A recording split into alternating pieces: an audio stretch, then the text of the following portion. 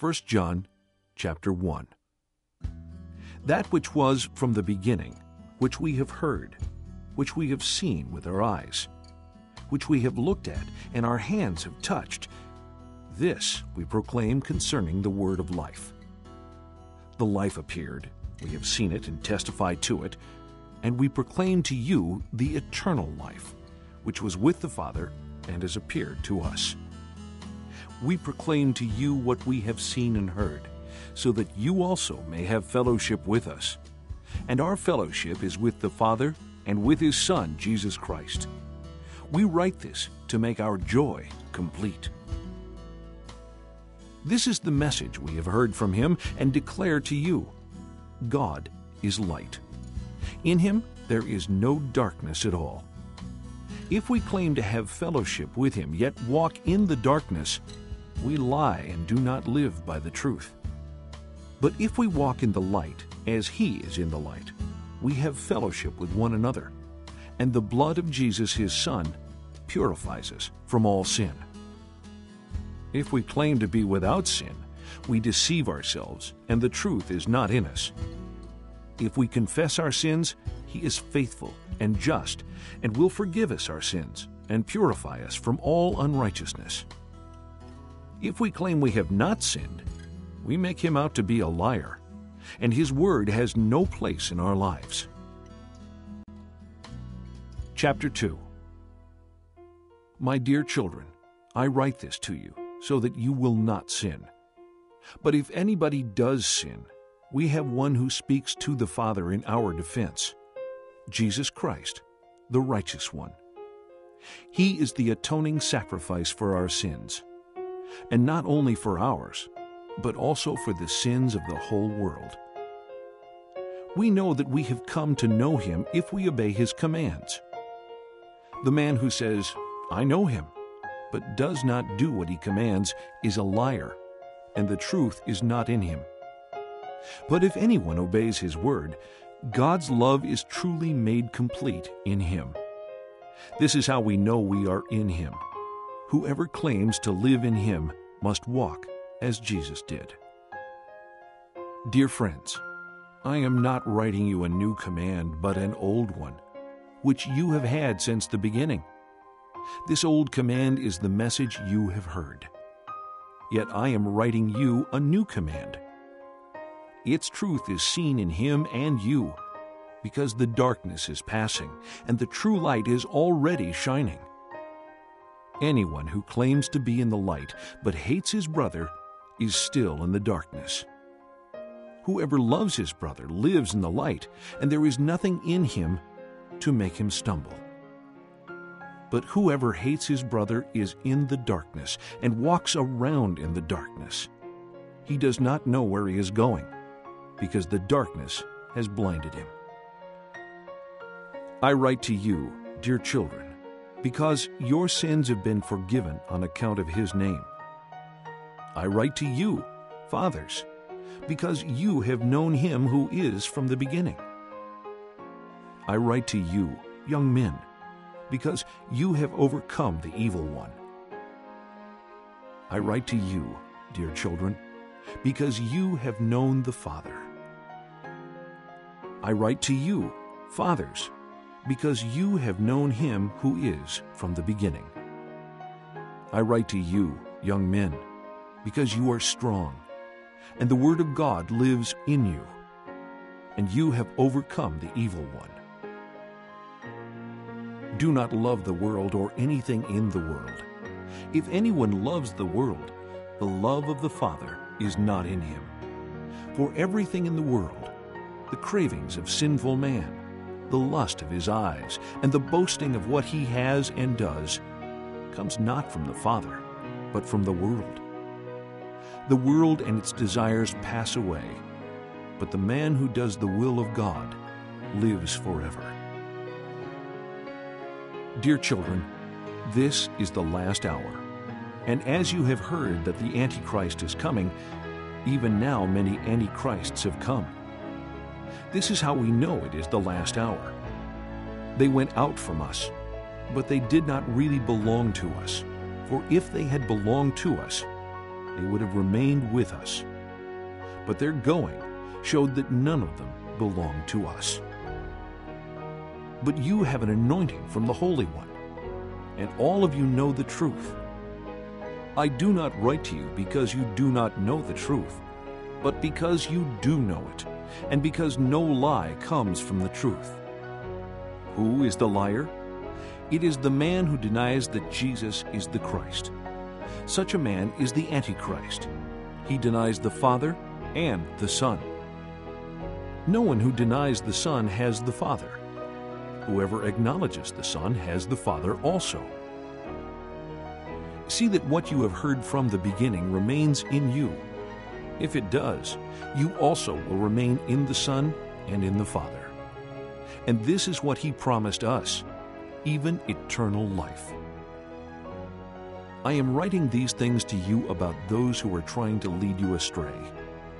As for you, the anointing you received from him remains in you, and you do not need anyone to teach you. But as his anointing teaches you about all things, and as that anointing is real, not counterfeit, just as it has taught you, remain in him. And now, dear children, continue in him, so that when he appears we may be confident and unashamed before him at his coming. If you know that he is righteous, you know that everyone who does what is right has been born of him. Chapter 3 How great is the love the Father has lavished on us, that we should be called children of God. And that is what we are. The reason the world does not know us is that it did not know Him. Dear friends, now we are children of God, and what we will be has not yet been made known. But we know that when He appears, we shall be like Him, for we shall see Him as He is. Everyone who has this hope in Him purifies himself, just as He is pure. Everyone who sins breaks the law in fact, sin is lawlessness. But you know that he appeared so that he might take away our sins, and in him is no sin. No one who lives in him keeps on sinning. No one who continues to sin has either seen him or known him. Dear children, do not let anyone lead you astray. He who does what is right is righteous just as he is righteous.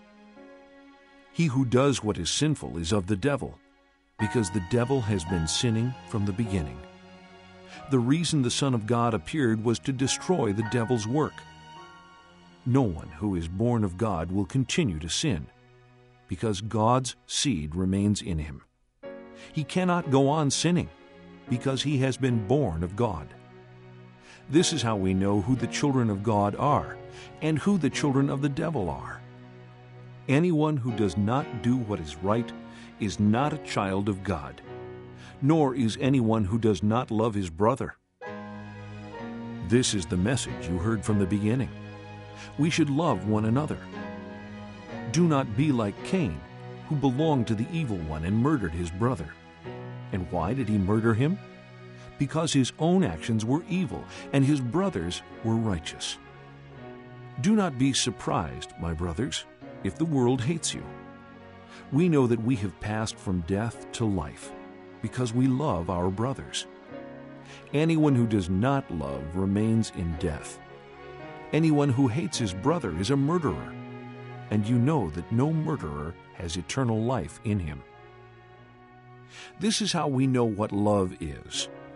Jesus Christ laid down his life for us, and we ought to lay down our lives for our brothers. If anyone has material possessions and sees his brother in need but has no pity on him, how can the love of God be in him? Dear children, let us not love with words or tongue, but with actions and in truth. This then is how we know that we belong to the truth and how we set our hearts at rest in His presence whenever our hearts condemn us.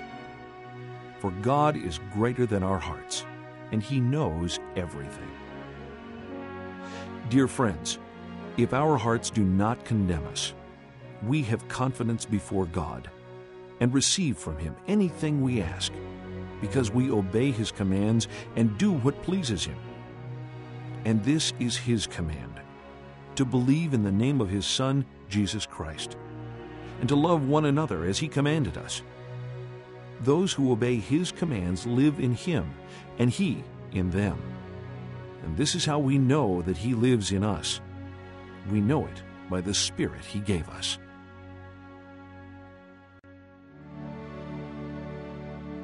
Chapter 4 Dear friends, do not believe every spirit, but test the spirits to see whether they are from God, because many false prophets have gone out into the world.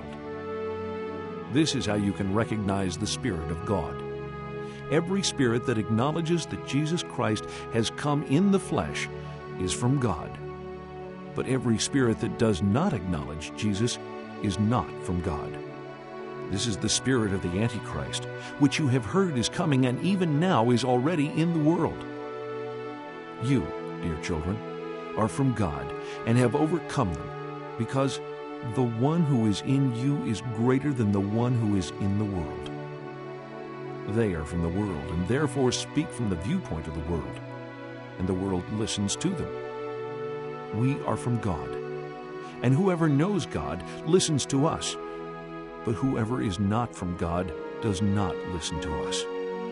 This is how we recognize the spirit of truth and the spirit of falsehood.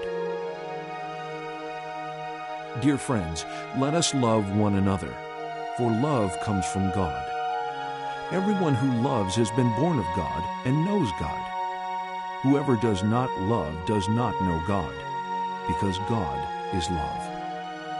This is how God showed his love among us. He sent his one and only Son into the world that we might live through him. This is love. Not that we loved God, but that he loved us and sent his Son as an atoning sacrifice for our sins. Dear friends, since God so loved us, we also ought to love one another. No one has ever seen God, but if we love one another, God lives in us, and His love is made complete in us. We know that we live in Him and He in us, because He has given us of His Spirit. And we have seen and testify that the Father has sent His Son to be the Savior of the world. If anyone acknowledges that Jesus is the Son of God, God lives in him and he in God. And so we know and rely on the love God has for us. God is love. Whoever lives in love lives in God, and God in him. In this way, love is made complete among us, so that we will have confidence on the day of judgment, because in this world we are like him. There is no fear in love, but perfect love drives out fear, because fear has to do with punishment. The one who fears is not made perfect in love. We love because he first loved us. If anyone says, I love God, yet hates his brother, he is a liar. For anyone who does not love his brother, whom he has seen, cannot love God, whom he has not seen. And he has given us this command Whoever loves God must also love his brother. Chapter 5 Everyone who believes that Jesus is the Christ is born of God, and everyone who loves the Father loves his child as well. This is how we know that we love the children of God, by loving God and carrying out his commands. In fact, this is love for God, to keep his commands. And his commands are not burdensome, for everyone born of God overcomes the world. This is the victory that has overcome the world, even our faith. Who is it that overcomes the world? Only the one who believes that Jesus is the Son of God. This is the one who came by water and blood, Jesus Christ. He did not come by water only, but by water and blood. And it is the Spirit who testifies because the Spirit is the truth. For there are three that testify the Spirit, the water, and the blood and the three are in agreement. We accept human testimony, but God's testimony is greater because it is the testimony of God, which He has given about His Son. Whoever believes in the Son of God accepts this testimony. Whoever does not believe God has made him out to be a liar, because they have not believed the testimony God has given about his Son. And this is the testimony. God has given us eternal life, and this life is in his Son. Whoever has the Son has life. Whoever does not have the Son of God does not have life. I write these things to you who believe in the name of the Son of God, so that you may know that you have eternal life.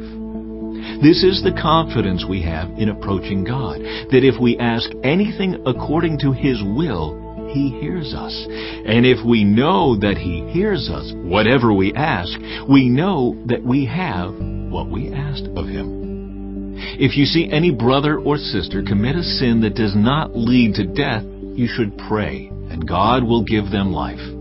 I refer to those whose sin does not lead to death. There is a sin that leads to death. I am not saying that you should pray about that. All wrongdoing is sin, and there is sin that does not lead to death. We know that anyone born of God does not continue to sin. The one who is born of God keeps them safe, and the evil one cannot harm them. We know that we are children of God, and that the whole world is under the control of the evil one. We know also that the Son of God has come and has given us understanding, so that we may know him who is true. And we are in him who is true by being in his Son, Jesus Christ. He is the true God and eternal life. Dear children, keep yourselves from idols.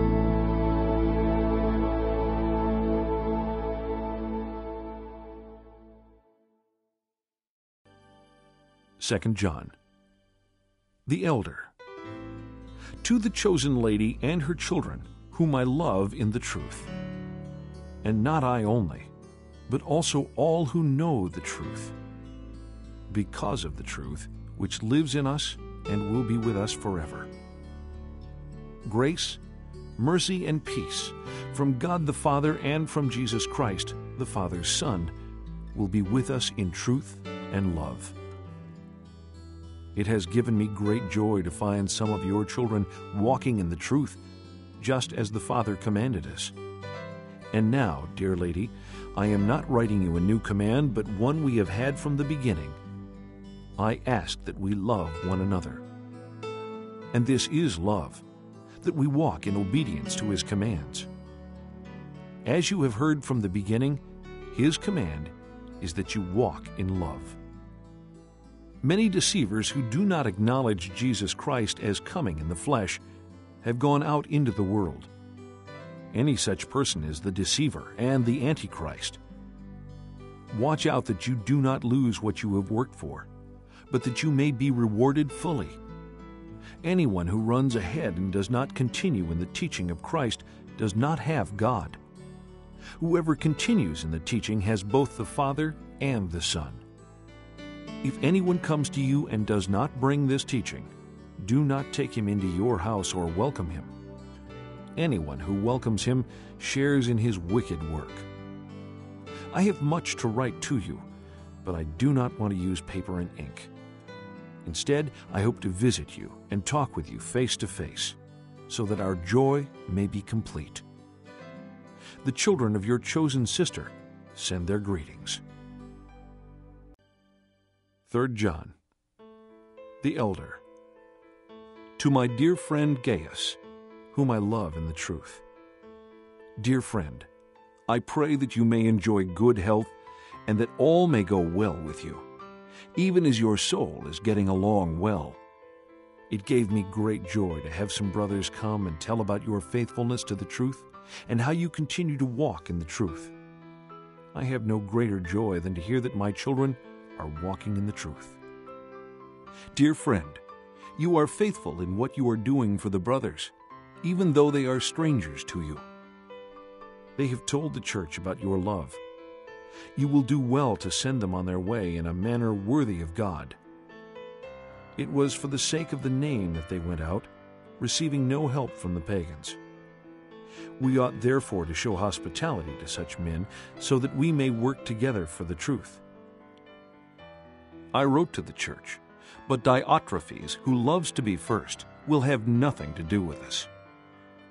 So if I come, I will call attention to what he is doing, gossiping maliciously about us.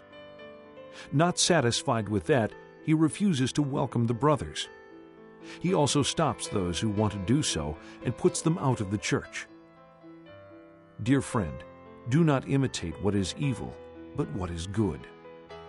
Anyone who does what is good is from God. Anyone who does what is evil has not seen God. Demetrius is well spoken of by everyone, and even by the truth itself. We also speak well of him, and you know that our testimony is true. I have much to write you, but I do not want to do so with pen and ink. I hope to see you soon, and we will talk face to face. Peace to you. The friends here send their greetings. Greet the friends there by name.